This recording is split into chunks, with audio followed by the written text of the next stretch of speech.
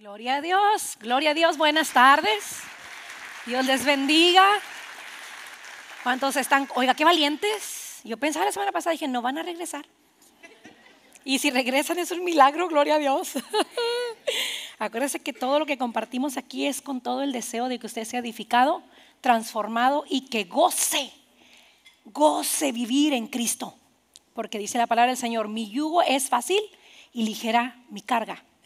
El conflicto empieza cuando todo se nos vuelve una carga, cuando todo pesa, cuando no es fácil. Entonces, eh, qué bueno que está aquí porque yo creo que Dios tiene planes preciosos y maravillosos para todas las parejas hispanas. Yo sé que nuestra cultura no nos ayuda mucho a crecer y a desarrollar, pero sí sé que esta generación es una generación que quiere producir cambios que estamos cansados de imitar patrones de conducta adquiridos por nuestros antepasados que no funcionaron. Tenemos que romper con eso para dar lugar a lo que viene para nosotros como hijos de Dios, como hijas de Dios. Amén. Así es que bienvenido a una de nuestros servicios aquí en TFS Español. ¿Cuántos son nuevos y nos visitan por primera vez? Levante su manita para darle la bienvenida. Bienvenido, mi hermano. ¿Alguien más? Bienvenida, bienvenida, bienvenido. ¿Alguien más? Bienvenida. Gloria a Dios. Bienvenido, hijo. Gloria a Dios. Bienvenidos, bienvenida a mi vida, a la casa de Dios. Le voy a pedir por favor que vaya conmigo el Evangelio de Marcos capítulo 10 versículo 6. La palabra de nuestro Dios nos dice de la manera siguiente. Dice, pero desde el principio de la creación Dios los hizo varón y hembra. ¿Qué? Varón y hembra. Por esta razón el hombre dejará a quién? Y a su madre y los dos serán una sola carne. ¿Cuántos? Una sola carne. Por consiguiente ya no son dos. ¿Sí? Sino que repite, ¿sí? Una sola carne. Por tanto, lo que Dios ha unido, ningún hombre lo separe. Oremos, gracias Señor te damos en esta tarde por tu fidelidad y por tu amor, por todas tus bendiciones, por nuestra iglesia que es fiel, que quiere aprender que está esperando, Señor, ser persuadido por tu Espíritu Santo, no solamente para escuchar, sino para hacer. No solamente somos oidores, sino hacedores de tu palabra. Usa mis inútiles labios y que ninguna torpe palabra salga a través de ella. Perdón, Señor, si alguna vez he ofendido tu corazón. Te doy honra y gloria por siempre y para siempre, mi Dios. Amén y amén. En cierta ocasión, una pareja se fueron por ahí a comer iniciativa de ella, con todo el plan. ¿Cuántas hacemos cosas planeadas, hermanas? Eh, honestamente, es como lo voy a hacer una comida especial porque usted le quiere pedir dinero para ir al mall, ¿no es cierto? Se quiere portar bien y no necesariamente es porque usted es, ay, no, bien aplicadita. No, no, no. ¿Sabes qué? Pues le voy a hacer para poder ir. Lo voy a atender para que me deje ir o para que no haya conflicto a la hora de la salida. ¿Cierto o no es cierto? Seamos honestas, honestas, ¿sí? Ah, caray, no más yo soy la única pecadora aquí. Mira cómo crees, ¿verdad?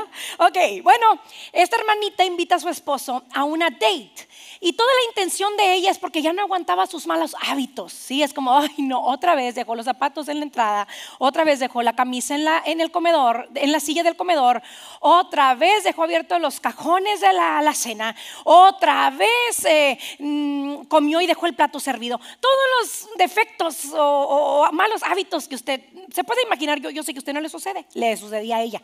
¿Sí? Entonces lo lleva, lo invita a comer y él accede, pues vamos. Entonces ya cuando están ahí sentaditos, ella se, muy aplicadita se sienta enfrente de él y le dice, mira, yo, realmente te pedí que viniéramos aquí porque creo que necesitamos hablar. Yo no puedo con tanto trabajo. Me levanto muy temprano, atiendo a los niños, les hago almorzar, eh, les doy de comer, eh, saco la comida, preparo la comida, lavo, plancho, barro, etcétera, etcétera, etcétera.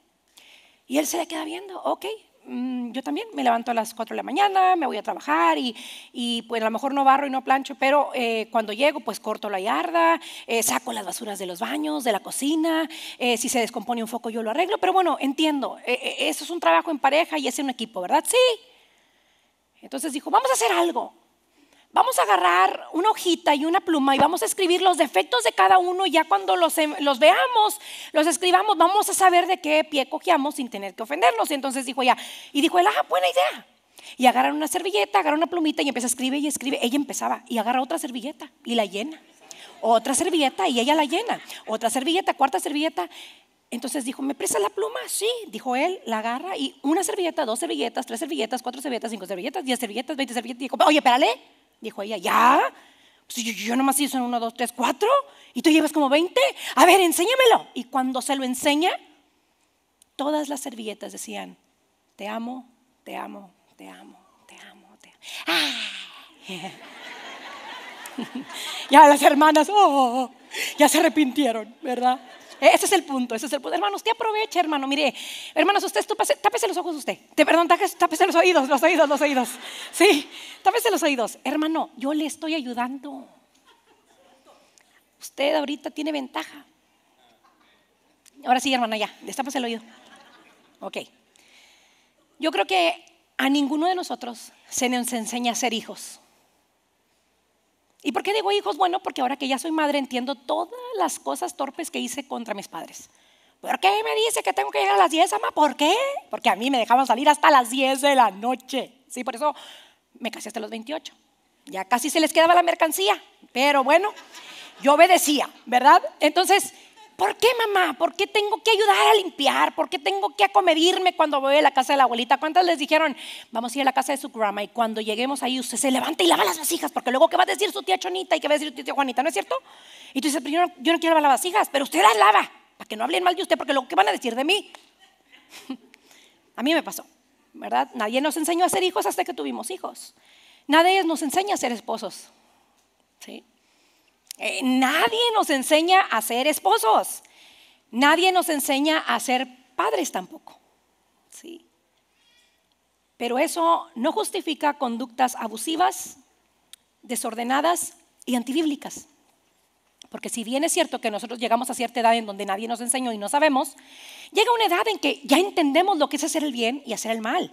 Lo que es ofender deliberadamente a tu cónyuge o a tu hijo. Sí, porque aunque la serie no es enfocada 100% a los hijos, eh, creo que es importante entender que nosotros a veces, en ocasiones, provocamos la ira de nuestros hijos.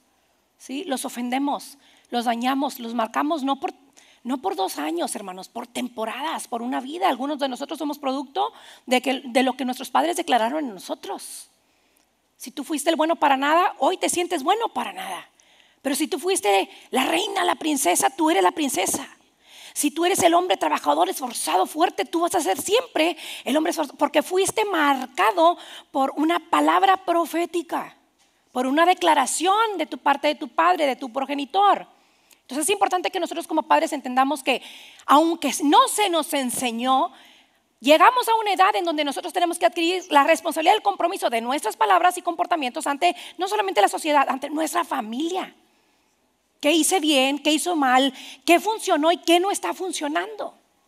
Es importante que nosotros, dentro de lo que cabe, intentemos ser buenos esposos. Yo creo que usted está intentando porque si usted no hubiera querido, no hubiera venido hoy y nada más se pierde de escuchar algunos consejos prácticos para su matrimonio. Ahora, cabe mencionar, algunas de las cosas que yo comparto aquí son meramente ideas que nosotros, mm, mm, tanto mi esposo Mario como yo hemos adoptado en nuestro matrimonio y nos han funcionado. No necesariamente es estrictamente lo correcto, a menos que usted escuche que viene de la Biblia, sí es correcto. Pero si usted escucha mi ejemplo o eh, mi testimonio, usted puede decidir, no, no me gusta o sí me gusta, porque esto le funcionó a ella, pero quizás no me funcione a mí. ¿Estamos de acuerdo? ¿Sí? Entonces, lo que sí viene de la Biblia, 100%, que no es mi experiencia, usted abrácelo porque eso es verdad. ¿Ok? Entonces el deseo nuestro es que usted crezca, desarrolle carácter, pero también que un día llegue al cielo con su esposo y con su esposa y con sus hijos y sus nietos y sus generaciones. ¿Sí? Porque el cristiano no puede vivir pensando que esta vida es todo. No, mis hermanos, nosotros somos peregrinos y extranjeros aquí y un día estaremos enfrentando la realidad. ¿Cuál es la realidad? ¿La vida o la muerte? ¿El cielo o el infierno? Y yo no quiero llegar sola. Yo no quiero llegar sola. Yo quiero llegar con mi familia. ¿Cuántos pueden decir amén a eso? ¿Sí? La Biblia, mis hermanos, en la versión, el mensaje nos dice en Efesios capítulo 5, versículo 8, del 8 al 11. Ahora, si usted busca en el mensaje, usted va a dar cuenta que en la Biblia versión mensaje no tiene versión español, yo la traduje al español, pero me encanta la manera en que la versión mensaje se expresa y nos enseña. Entonces, una vez, dice la palabra en Efesios capítulo 5, versículo del 8 al 11, una vez te abriste camino a tientas a través de esa oscuridad. Antes de continuar, ¿se acuerda usted del título de la semana pasada? ¿De mi prédica? ¿No se acuerda? ¿No vinieron? Con las luces apagadas, ¿sí? Pues el día de hoy el título para mi mensaje es Matrimonios a la luz. ¿Sí? Matrimonios a la luz. La semana pasada usted vio las consecuencias de vivir sin luz. ¿Y la luz representa a quién? Cristo. Sin orden, sin, sin temor, eh, sin cordura, sin dirección. Pero el día de hoy son matrimonios a la luz. Efesios capítulo 5 nos dice, una vez te abriste camino a tientas a través de esa oscuridad, pero ya no. Ahora estás al descubierto. Nosotros estamos al descubierto. Antes vivíamos bajo los efectos del pecado y de la maldad. Pero ahora que estamos en Cristo entendemos que hay cosas que a Dios le agradan y que no le agradan. Si yo las hago, con alevosía y ventaja es bajo mi responsabilidad. Porque ya sé que hay consecuencias del pecado y de la maldad. ¿Sí? Ahora, estás al descubierto. La luz brillante de Cristo hace que tu camino sea claro. Usted no puede decir, yo no puedo decir que no sé cómo ser una buena esposa. Si yo leo la palabra, la palabra me dice cómo ser una buena esposa. También me dice qué hacer cuando estoy en conflicto. También me dice qué hacer cuando fui engañada o cuando algo no estuvo bien en mi matrimonio. Ahora, yo sé que toqué la palabra engañada y sé que muchos, hombres y mujeres, han sido engañados. No voy a entrar en detalles con respecto a infidelidades dentro del matrimonio, porque créame, es un tema largo y tendido. Pero si usted pasó por una infidelidad, cabe mencionar que sí necesito decirle esto. Usted necesita ayuda. Y va a tener que invertir tiempo y dinero si usted quiere ser sano y restaurado en su relación. Tiempo, porque obviamente hay un daño que se ha producido después de una infidelidad. Y alguien puede decir, ya me, ya pues ya pasó, ya. No, hermanos. Hay un daño profundo que se tiene que sanar y usted necesita ayuda. Busque a un terapista o a un consejero que le pueda ayudar. Y obviamente eso le va a costar dinero. Ah, pero yo no quiero pagar, pastora, tan fácil que es arreglar eso. No, no, no, no, no. Usted comete una falta, usted tiene que pagar. Hay consecuencias después de las faltas. Ay, pastora, no me diga eso. ¿Cómo no? David, pues Dios lo perdonó. Sí lo perdonó, pero pagó consecuencias de su adulterio. ¿Cuál fue la consecuencia de su adulterio? Se le murió un hijo. Otro hijo abusó de su otra hija. Otro hijo se levantó en contra de su reinado. Y el más famoso, un poco promiscuo. no más mil mujeres. Sí, más o menos. Entonces, ¿Dios perdona tus infidelidades matrimoniales? Dios las perdona. Pero diga usted, pero yo pago las consecuencias. Yo pago las consecuencias y una de las consecuencias es que se pierde la confianza dentro del matrimonio. Entonces usted necesita ayuda. ¿Sí? Dice la palabra del Señor. Cristo hace que tu camino sea claro. Así que ya no tropieces más, porque el que tropieza después de conocer a Cristo es por gusto. Ah, no, pastora, es que yo desconocía. ¿Qué le dije la semana pasada? Cuando usted conoce, usted sabe hacer lo bueno y no lo hace, se le cuenta como pecado. Pero si usted desconoce, entiendo, Dios no se lo cuenta como pecado, usted no sabía. Pero ahora que ya está en Cristo, ¿sí?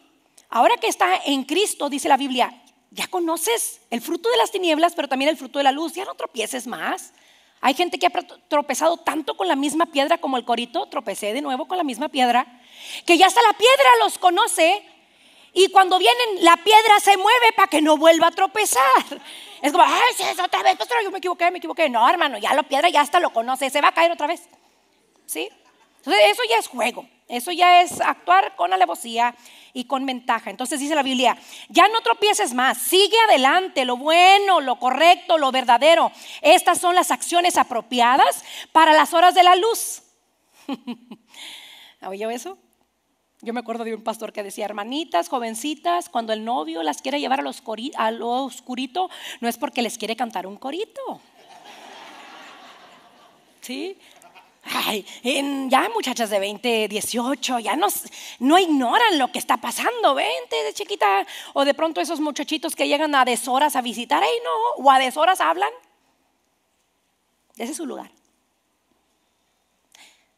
Iba a mencionar algo, pero mejor no, porque ese era un consejo de mi abuelita y está bien duro. Y yo sé que no, no. Ay, no, no, no. Es que mi abuelita, es que sí lo voy a decir, hombre. Yo ya sabe, ya me conoce, ¿sí? Decía mi abuelita, mijita, cuando yo tenía conflictos, ah, mamá, mire, mami no me deja salir después de las 10. Claro, hermano, estamos hablando de 20 años atrás, ¿ok? Yo sé que los tiempos han cambiado. Me decía, mi hijita, hágale caso a su mamá. ¿Ustedes saben, lo, ¿saben qué se parece una mujer a un semáforo? Le dije, no. Digo que después de las 12 nadie lo respeta. ah, ¿tiene sentido, grandma? Con todo perdón a todas, a todas, a todas, a todas. ¿Sí? Bueno, pastor, es para los hombres, para nosotros, es para los dos. Es para los dos. Estas son las acciones apropiadas para las horas de la luz. Averigua qué es lo que complace a Cristo y hazlo. ¿Oyó? Averigua qué es lo que complace a Cristo y hazlo. No malgastes tu tiempo en trabajos inútiles, en meras ocupaciones, en las estériles búsquedas de las tinieblas.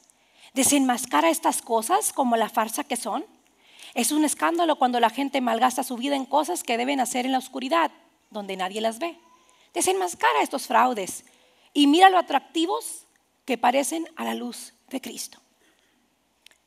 Como creyentes, mis hermanos, tenemos la responsabilidad de nuestro crecimiento espiritual y eso lo sabemos, pero también tenemos compromisos en nuestro matrimonio.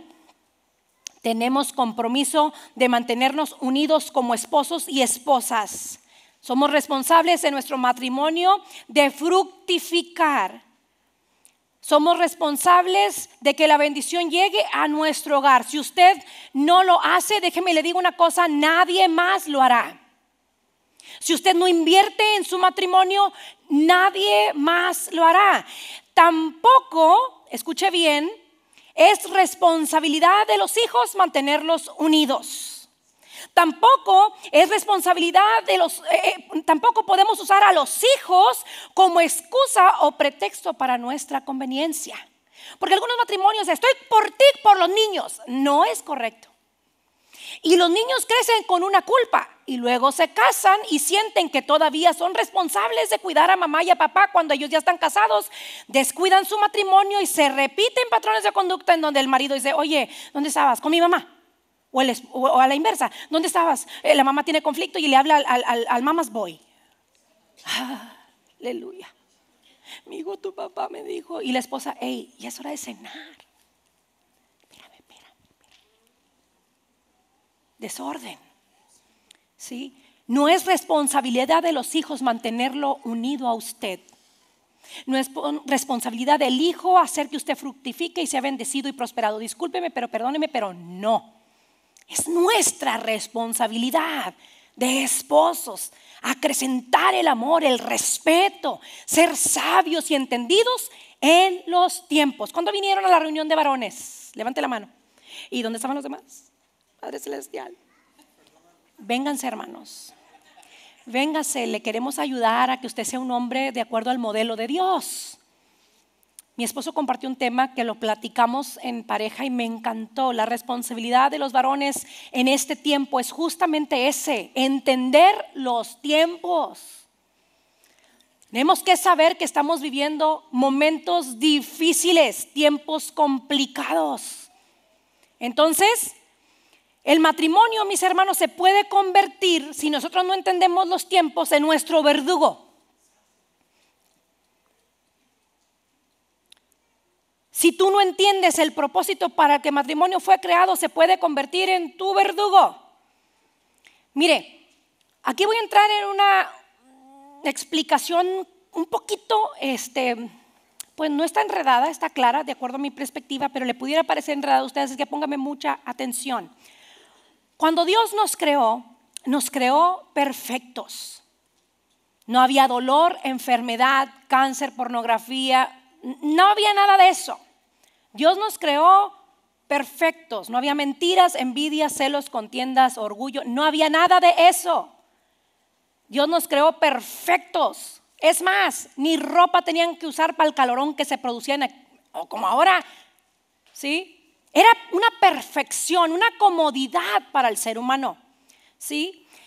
Cuando Dios nos crea, nos crea perfectos, de no haber sido por la terrible decisión que tomó Eva y Adán, todos continuaríamos en el Edén gozando del climita agradable y perfecto que Dios creó para nosotros.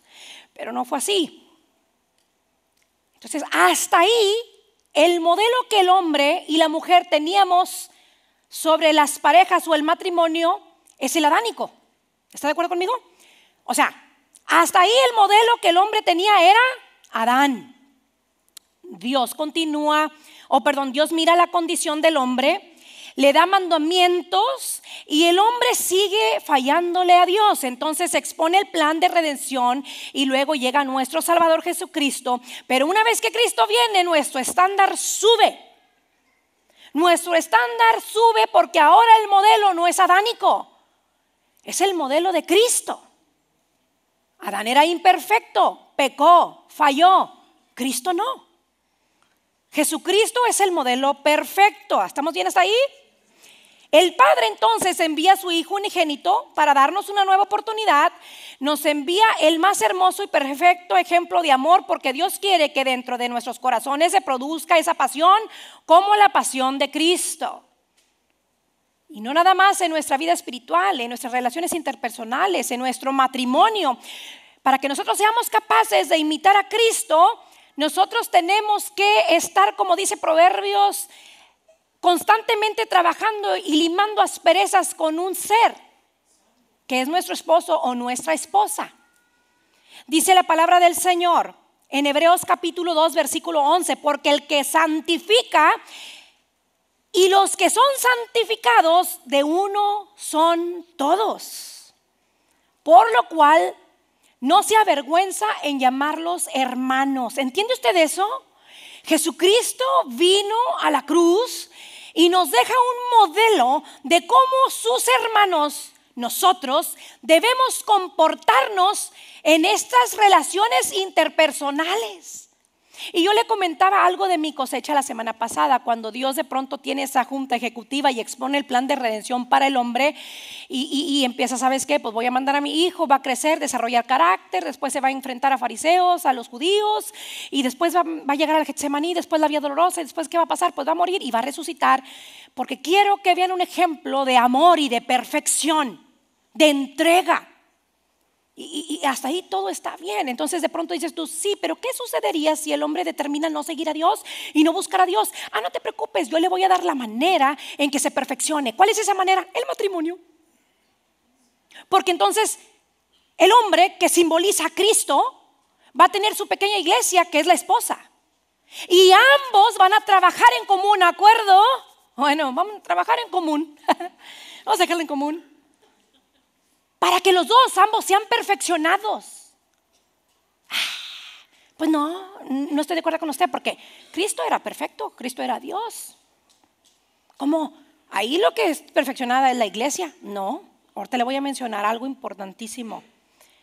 El matrimonio es el plan de Dios para producir en nosotros ese restablecimiento de las relaciones, no solo espirituales, sino humanas. Dios le dijo a Adán en Génesis capítulo 1, versículo 26, enseñoreate de todo. ¿Y qué hizo Adán? Se mantuvo pasivo ante la rebeldía de Eva. Eva peca, Dios está en silencio, peca Adán y Dios pregunta, ¿dónde estás tú? Y Adán dice, Señor, oí tu voz, tuve miedo y me escondí. Adán contesta con temor, con inseguridad. Si nos quedamos con el ejemplo de Adán, no sé si usted piensa igual que yo, estamos perdidos. Porque entonces la mujer manda, manipula al hombre y el hombre hace lo que la mujer dice. Y yo sé que las hermanas, ay, pastora, ya la regó. ya la regó, pastora. A mí no me gusta eso que usted dice. Yo nada más le estoy diciendo lo que la Biblia dice, ingrata. Y yo tengo que seguir el modelo de la Biblia. Y no se lo predicaría si yo no lo practicara. Y ahí está mi marido de testigo. Si usted le quiere preguntar, pregúntele. Nos ha costado. No es fácil. Cabe mencionar. No es fácil. Pero cuando el hombre entiende su posición y la mujer la suya, sí se puede trabajar en común. ¿Ok? Si nos quedáramos con el ejemplo de Adán, estamos perdidos. Pero el pecado produjo mentira, produjo envidia, produjo orgullo, el evadir la realidad. ¿Qué pasó? La, mujer que tú me diste. ¿Sí, se fija usted que cada vez que hay conflicto uno trata de buscar culpables?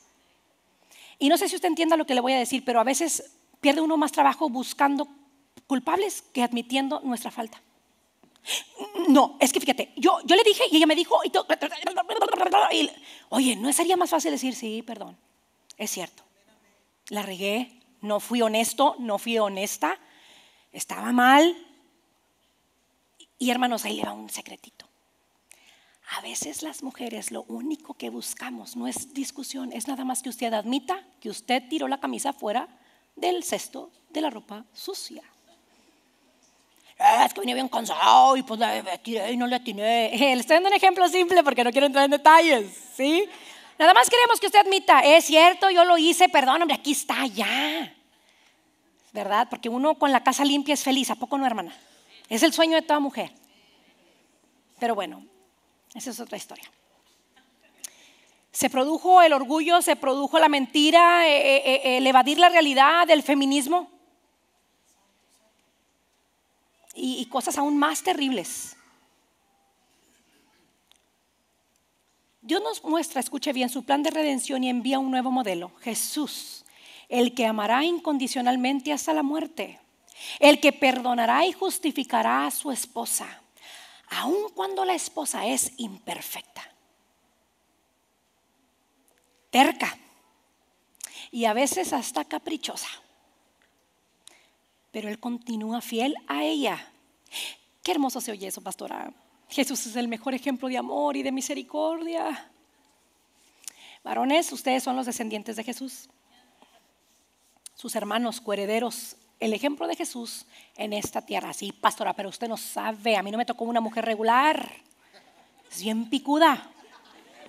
Bien cabezona, pastora. De la misma manera que Jesús amó y se perfeccionó, usted también tiene la oportunidad de ser como Jesús.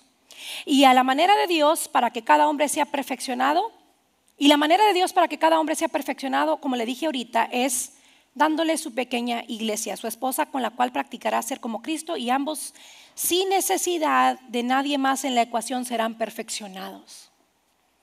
Usted no necesita la comadre, la vecina, el compadre, el amante, el conflicto, el que mintió, el que le engañó. O sea, para que haya conflictos en el matrimonio se requieren nada más dos personas involucradas en la ecuación. Culpamos a todo mundo que si el zacate no creció, es más, si un hijo entra en drogas, inmediatamente se voltean los dos frente a frente y tú tuviste la culpa, para que te dije no trabajaras, para que trabajabas, no, tú fuiste la culpa porque tú tampoco llegabas y nunca lo Todos son culpas. Evadimos la realidad, nadie admite su culpa, o su, perdón, no su culpa, pero su responsabilidad, perdón. Nadie admite su responsabilidad, estamos siempre buscando culpables. Nos quitamos la oportunidad de crecer, de quitar ese ego, hermanos. Muchas de las veces donde yo tuve conflictos con mi esposo, mi esposo conmigo, yo tuve que reconocer, soy yo, soy orgullosa, soy muy orgullosa. Y necesito ser humilde. Muchas veces mi esposo en conflictos matrimoniales, eh, él como es un hombre noble y como es un hombre pues muy tranquilo, siempre dice, I'm sorry mi vida, you know what, I queda, right? Y yo no. oh, no, no. Hasta que vamos creciendo ambos, ya tenemos 13 años preciosos de casados, y, tengo que ser honesta, no hace mucho tiempo yo empecé a decir, um, y, le voy a decir, le voy a platicar una vez, Chismositos, ¿verdad? Ah, ok, está bueno. Estábamos ahí, este, nos, nos, nos, nos acostamos y, y, adentro me decía, no, es que no es justo porque yo no hice esto, yo no dije el otro y que... Y el Espíritu Santo me decía, agárrale la mano y yo, no, Acuérdese que yo le digo que siempre nosotros dormimos con nuestras manos tomadas, agarradas. No. Y algo me decía, Linda, es tan fácil, Linda, ya humíllate, agárrale la mano, por favor, Linda. Y yo dentro, no, señor, no, le voy a decir, no. No, no, no, yo no tuve la culpa, yo no tuve la culpa, yo no tuve la culpa. Y de pronto pasa toda una escena, una película. Y pensé, que Dios, tan corta que es la vida. Quiero que imagine esta escena. Un día, usted va a entrar solo o sola por las puertas de esta iglesia. Porque su cónyuge ya no va a estar aquí. Voltea a ver a su pareja. Mírela bien. Un día uno de los dos no va a entrar por las puertas de este templo. ¿Por qué esperar que nos sorprenda la muerte? Para amarnos, aceptarnos, abrazarnos, para decir ese perdón. Y luego me andan llorando, ay, era bien perfecto. Cállese la boca, usted andaba siempre agarrada con él. No era perfecto porque usted siempre vivía agarrada con él y me andaba dando quejas a mí, ¿no se acuerda? O al revés, ¿sí? Uno de los dos un día no entrarán por las puertas de esta iglesia. Es más, un día uno de los dos no va a entrar por las puertas de su hogar. Y él, ay, si era bien buena. No sabía guisar, pero bueno, me compraba muy buena comida afuera. O a la inversa. Era bien bueno, no hacía carne asada, pero la compraba. No cortaba el zacate, pero pagaba a alguien que se lo, se lo hiciera. Amén. Gloria a Dios. ¿Sí? ¿Por qué va a esperar usted ese día, oiga? ¿Por qué? Y luego me andan invitando que predique bonito en los funerales. Yo no me ando echando mentiras. Le aviso desde ahorita. A mí no me hagan echar mentiras que diga que se fue al cielo, pastor. Yo no voy a decir, porque aparte la engañó bastante. Era bien tremendo. Hágame, ayúdeme, ayúdeme a predicar la verdad.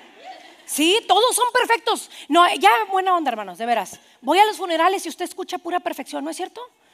Y dices tú, ¿cómo? Eh, pues si me bien agarrado, soy era perfecto. Hermanos, no tenemos que esperar la muerte. No tenemos que esperar a dormir solos para sentir la ausencia del ser amado. Hay gente que dice, yo que se muera, pastor, yo sería feliz. No es cierto. Porque cuando usted necesite quien le traiga el garrafoncito de agua o que usted requiera un abrazo para llorar a gusto, no va a estar. Y vivimos pensando que somos eternos. No somos perfectos, ni eternos tampoco, menos eternos. Yo hice una dinámica con nuestro grupo de líderes el jueves, por cierto, los que no vinieron a la junta de líderes, agréguese o hable con Javi para que usted tenga acceso a la siguiente junta, porque algunos quizás no recibieron la invitación, ¿ok? Lo necesitamos. Los líderes, eh, busque a Javi para tomar nota de, de, usted. Pero bueno, yo le decía que yo escuché a un pastor, se llama Jonathan Edwards, y él decía que llegó un punto en su vida en donde ya tenía como 50 y algo años, donde dijo, bueno, la Biblia dice que yo puedo vivir máximo hasta los 80. De los 50 a los 80, ¿cuántos días me restan? No, pues vamos a decir, porque no, no recuerdo ahorita, 8.705 días. ¿Qué vas a hacer con los 8.705 días que te quedan? Si cada año tiene 365. ¿Cuántos años tienes? Y, supongamos que llegaras a los 80, ¿cuántos días te quedan para vivir en esta tierra? Saque la calculadora. Rápido, hágala, hágala cuenta. ¿Sí? Yo tengo 41. ¿Cuántos me restan si yo llegara a vivir hasta los 80? Pero si no llego a los 80, resta. Y los voy a vivir peleando. Vi a mi hermoso, precioso, maravilloso esposo que Dios me dio tal cual yo se lo pedí. Yo no quería chaparritos, no tengo nada en contra de los chaparritos. Pero Dios me dio un hombre bien alto, casi dos metros. Le agarré su mano y como él es un hombre de Dios, inmediatamente se hizo para acá y nos abrazamos y San se acabó. Si yo no hubiera tomado la decisión, hermana, hubieran pasado quizás, no sé, no le voy a decir que suceda, pero puede ser su caso una semana, dos semanas, tres semanas peleados, hermanos. Perdiéndose de las bendiciones de Dios. Llegando a la iglesia como los perfectos hipócritas con la cara. Ay, todo está perfecto, pastora. No me le voy a decir algo, mire, yo no sé otros pastores.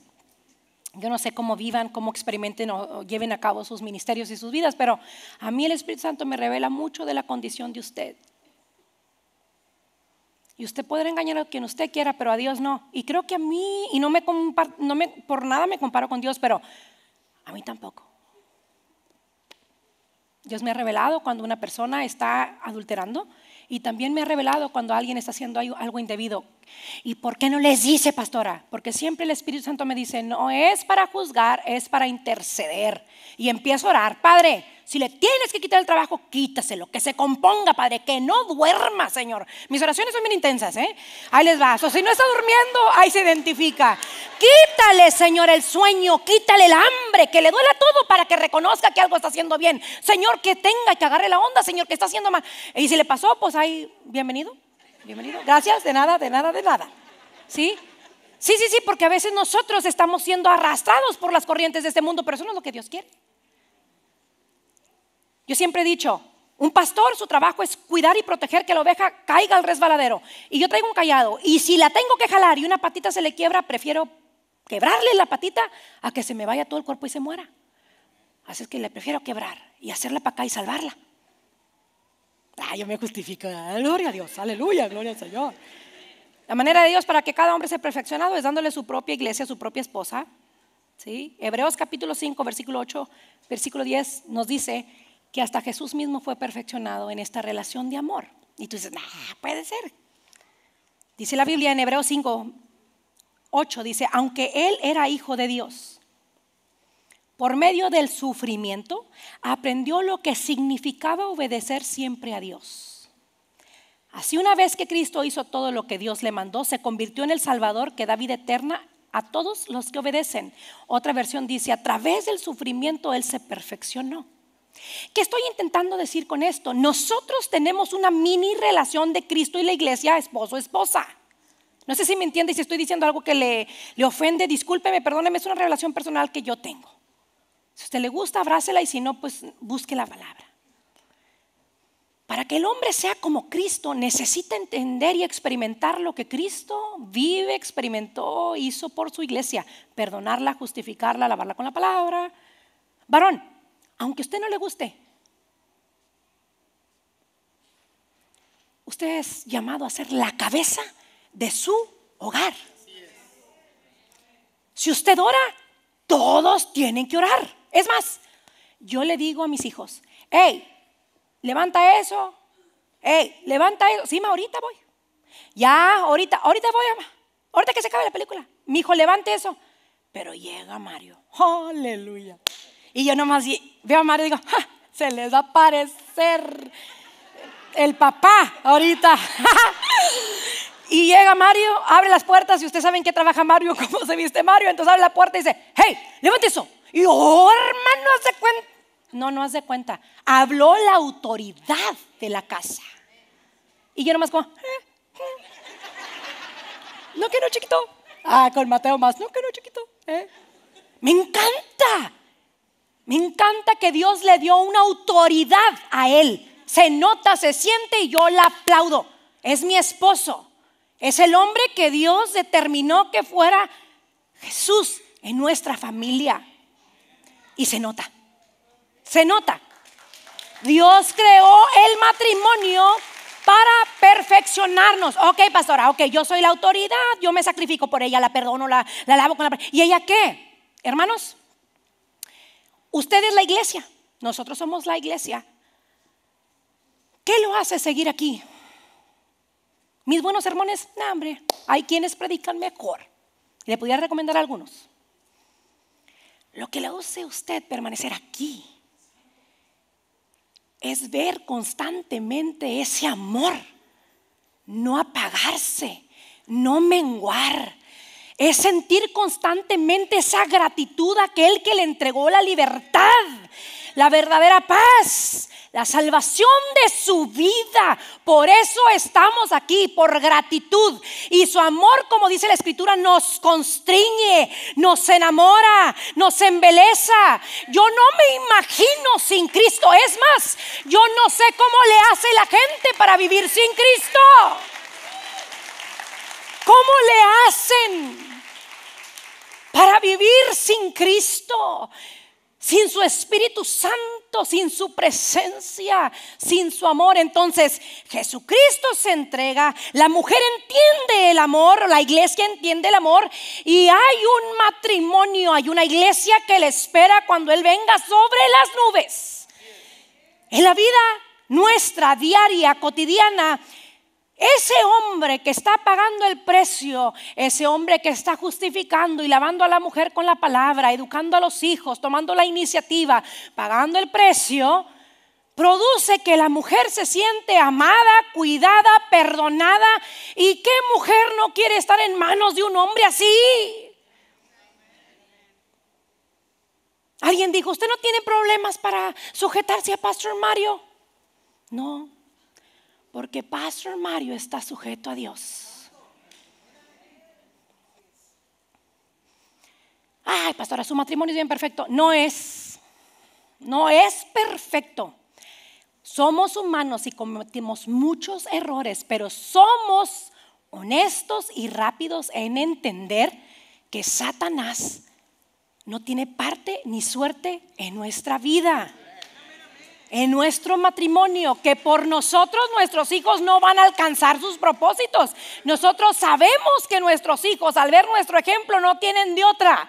Alguien le dijo a un muchacho, un, matrimonio cristiano, el muchacho se había ido a los bares, se había tomado, llegaba a medianoche, se drogaba, y le dijo, mijito, ¿por qué haces eso? ¿Por qué haces eso? Dijo, no, papá, pero yo nomás iba con los amigos. Eh, perdón, iba con mis amigos, pero no fumaba ni, me drogaba. Porque malarías, le dijo el papá, malarías, porque eso nunca lo viste en esta casa. ¿Cuántos de nosotros tenemos la autoridad para decir, ¿por qué le contestó a su mamá? ¿Por qué usted dijo esto? ¿Por qué usted se fue para allá? ¿Por qué hizo algo? Usted nunca lo vio aquí. El detalle es que no tenemos la autoridad para decirle, usted nunca lo vio, porque sí lo vio.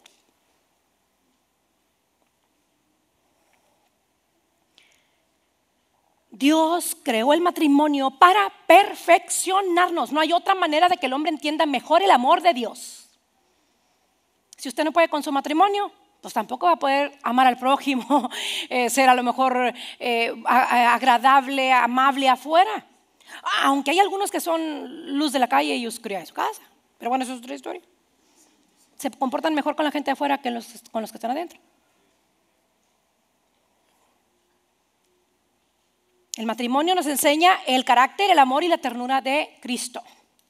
Hermanos, no podemos culpar a nadie por nuestros fracasos. Los dos llegamos rotos y en lugar de ayudarnos nos quebramos más. Los dos llegamos con motivaciones egoístas, odiando en algunos casos los malos ejemplos de nuestros padres, pero como todo buen alumno, imitamos a la perfección a los maestros. Yo soy responsable del éxito o del fracaso de mi relación. Es más, tampoco es culpa del diablo.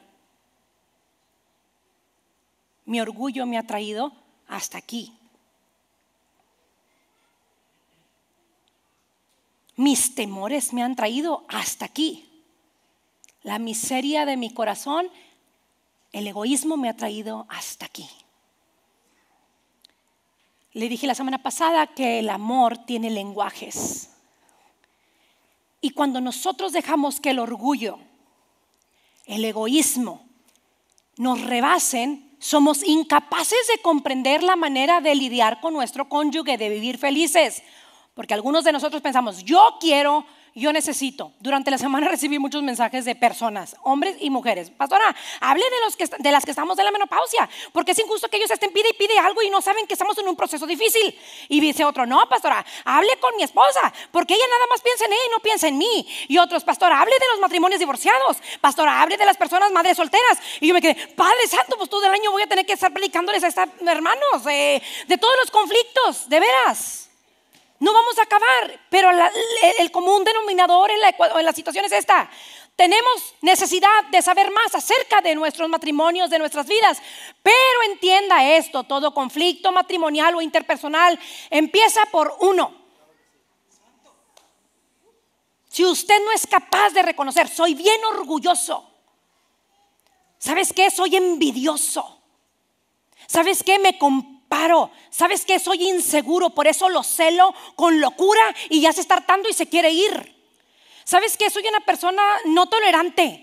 Ah, no, pues ya, es más fácil agarrar otra, levanta otra y levanta otra y levanta otra. Pastor John trajo una, ilustración el primer domingo, agarró una cinta y luego la cinta la pasó por el piso y por todas partes. Dijo, mira, así son las personas cuando tienen relaciones con muchas mujeres o con muchos hombres. Levantan todo todo lo que hay en la superficie. Y bíblicamente está mal. Porque cuando tú te unes a una persona, no es como, ah, tuve relaciones íntimas con ella y se acabó. No, Señor, usted se unió a todos sus ángeles o sus demonios. Usted no entiende, usted no entiende eh, la responsabilidad que tenemos en vivir con una sola persona. Que eso es otra historia. Hay lenguajes de amor. Uno de los motivos por los que las personas o matrimonios más acuden a terapias es por el hecho de no sentirse amados por su cónyuge. Eh, las terapias de pareja son importantes, pero no quiere decir que nos van a hacer la tarea. Tenemos responsabilidad ambos de querer cambiar y transformar nuestra vida. Si usted todavía no se ha casado, le recomiendo que tome consejería prematrimonial. Es más, yo no caso a nadie sin antes haberle dado consejería matrimonial. Y siempre les digo, yo soy su verdugo hoy y voy a intentar de hacer lo imposible para evitar que ustedes se casen y se me cambien. ¿Qué? ¿Cómo pasará? Entonces le dije, sí. Porque es increíble que el primer conflicto que se pueda producir en un matrimonio es preguntarse, ¿y dónde vamos a pasar la Navidad? ¿Con mi mamá o con la tuya? ¿Con la mía? La mujer, ¿verdad? La mujer, la mujer, la mujer. ¿Con la mía? Eso no está discusión. No, mija. Usted no puede tomar decisiones en base a lo que usted quiera, en lo que usted le gusta. Usted tiene que pensar en su cónyuge. Si usted no piensa en él, usted no lo ama. Es egoísta. ¿De, qué team va a ser la fiesta? ¿De los niños? De este. ¿Y quién va a ser los invitados? Toda la familia de ella y la familia de no. O a la inversa. Y dices tú, ¿y por qué vivimos conflictuados, pastora? ¿Por qué crees tú?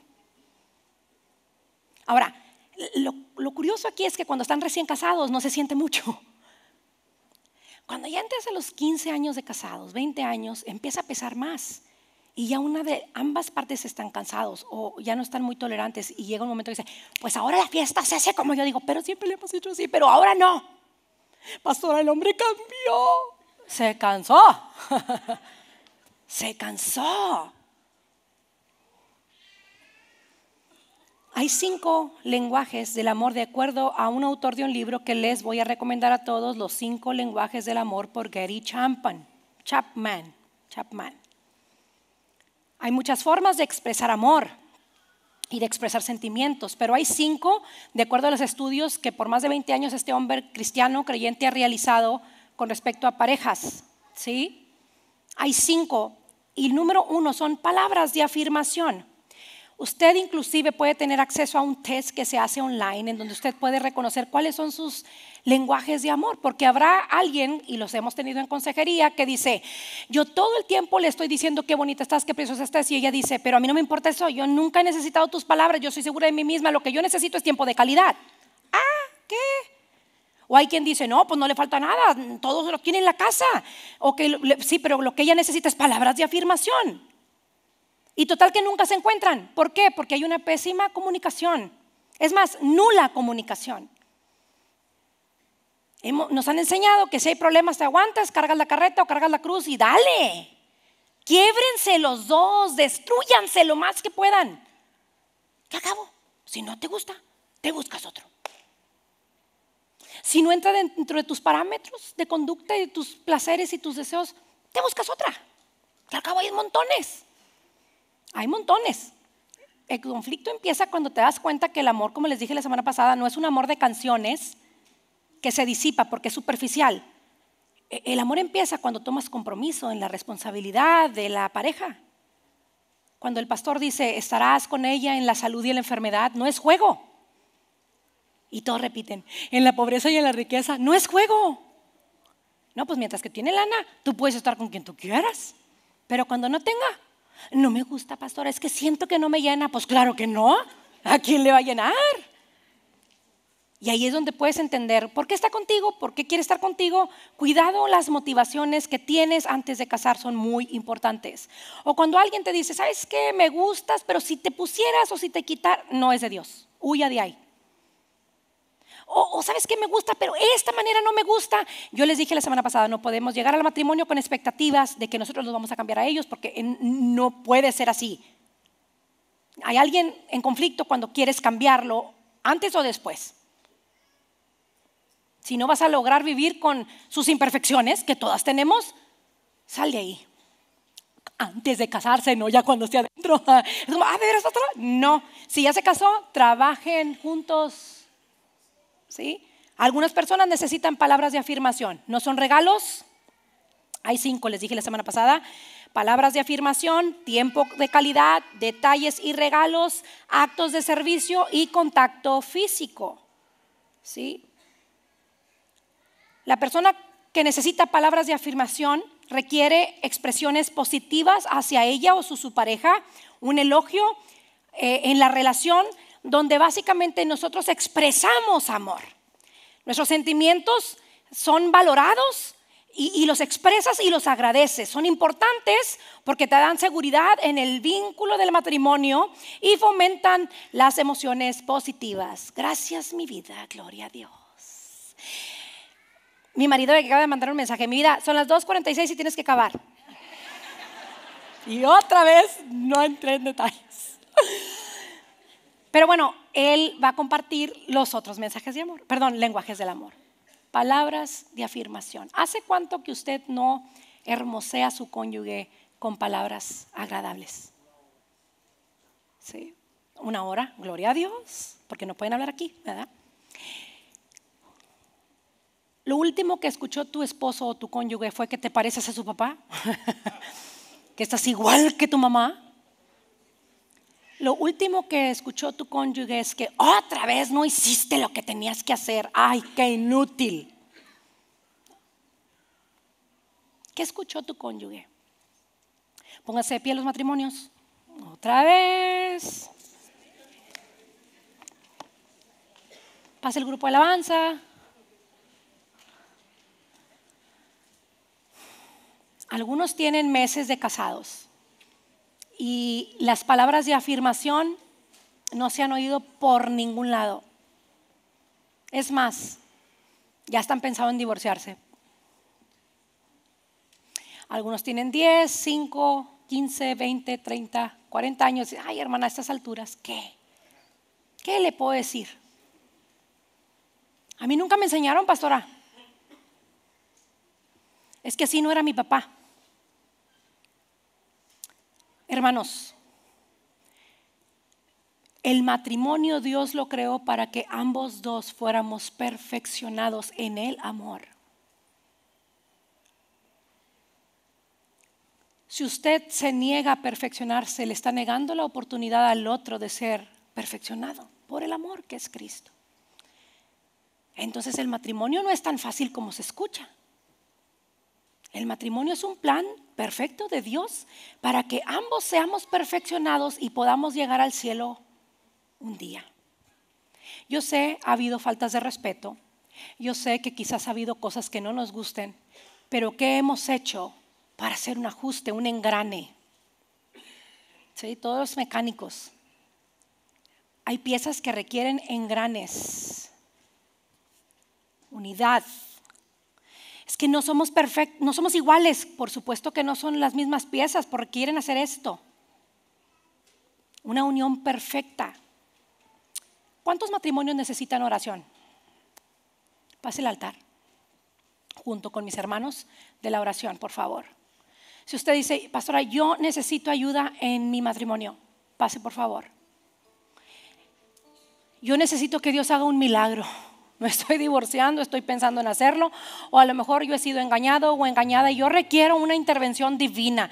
Y algunos van a decir, me da vergüenza pasar, pues oiga, yo le puedo decir la vergüenza contra el restablecimiento de su hogar, yo creo que no tiene sentido estar viviendo una falacia, una mentira. Pase, pase para que oren por usted. Dios quiere sanar matrimonios. Dios quiere que el matrimonio en donde tú estás sea verdadero, no de, de, nada más caras. ¿Sí? Dios no quiere que imites un buen matrimonio.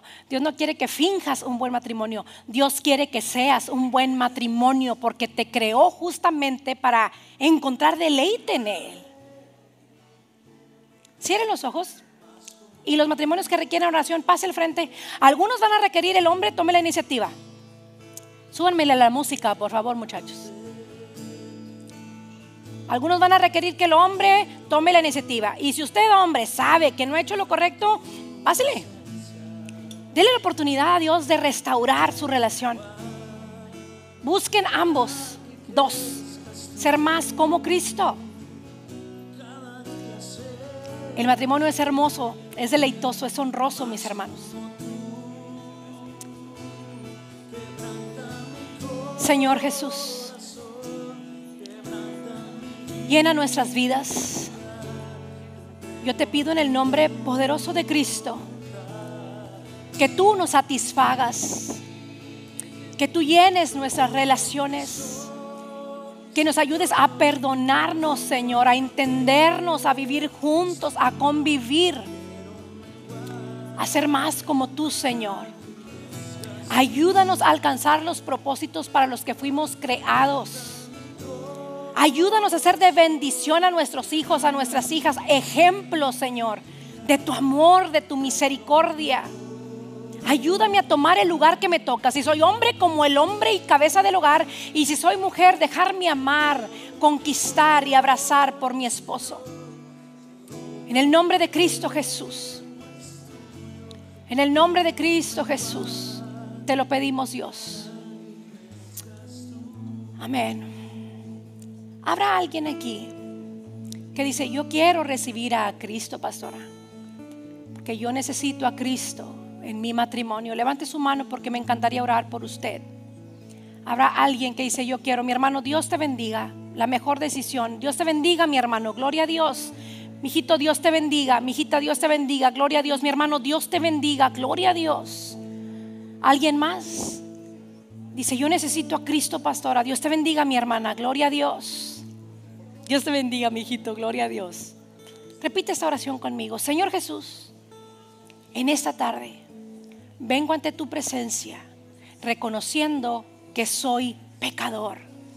Yo te necesito, Señor. Te traigo todo lo que tengo y todo lo que soy. Aquí están mis pedazos, Señor. Construye con ellos lo que tú quieras. Enséñame tu amor y tu verdad. Enséñame a aprender tus modelos y el propósito por el que fui formado. Te abro las puertas de mi corazón y te reconozco como mi Señor y Salvador. Y declaró, ya no vivo yo, Cristo vive en mí. Gracias Señor. Siga intercediendo. Sigan orando, Señor. Ayúdanos a crecer, ayúdanos a ser valientes y pelear por lo que nos has dado. Siga orando. Dejamos el lugar a quien corresponde. Dios le bendiga.